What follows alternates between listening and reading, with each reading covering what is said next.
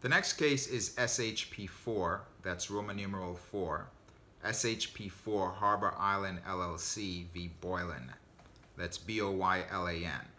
The opinion may be found at 44 Florida Law Weekly D8318. The opinion was issued by Florida's 5th District Court of Appeal on March 29, 2019. In this case, the plaintiff was a resident at the defendant's assisted living facility.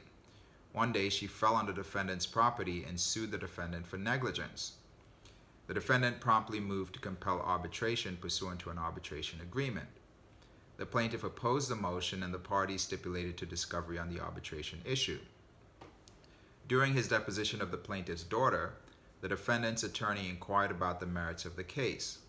The question on appeal is whether the trial court had erred in denying the defendant's motion to compel arbitration. The Fifth District Court of Appeal said no. The court explained that engaging in merits discovery is inconsistent with an arbitration request and constitutes a waiver of the right to arbitration.